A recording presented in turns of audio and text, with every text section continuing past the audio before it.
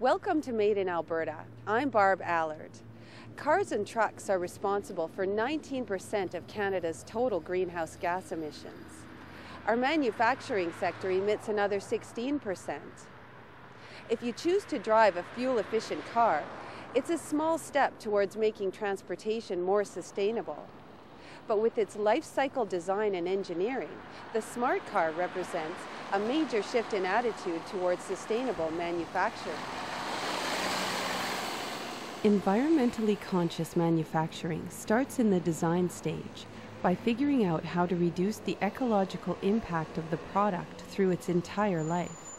It includes using the most non toxic materials and processes available, minimizing energy consumption, recapturing any toxic emissions, and conserving materials. Vanessa Higgins did the research and found a car that fit her budget, satisfied her desire to be environmentally conscious, and looks after her safety. The car I have is a smart car. It is a two-door coupe CDI.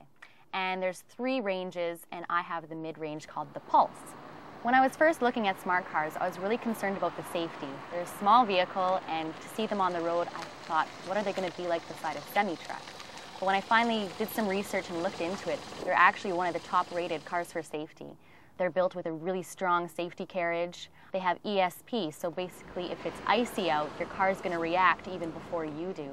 And then this is also another safety feature is if you are in a rear collision uh, and someone hits you from behind, the engine will drop out Whoa. so that it won't cause you any harm. And you've got steel-backed seats. The smart car also considers recycling in its life cycle environmental design.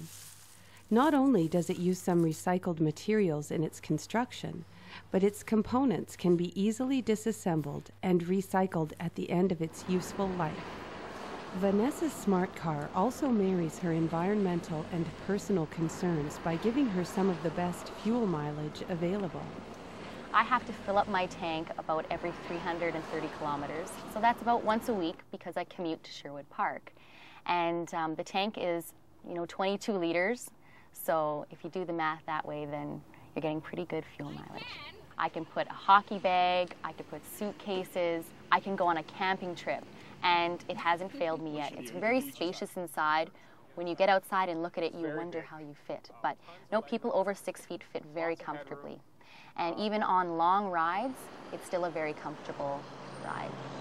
Although it's not the complete answer to our environmental problems with transportation, the smart car does offer lots to smile about. I get a lot of smiles and people waving. Uh, some people, usually children, like to point and laugh, but I know it's just because they're jealous. Major gains in sustainable transportation come with better urban planning, which allows for more non motorized and public transportation. Join us again in Getting Around as we investigate how this is happening in Alberta's cities.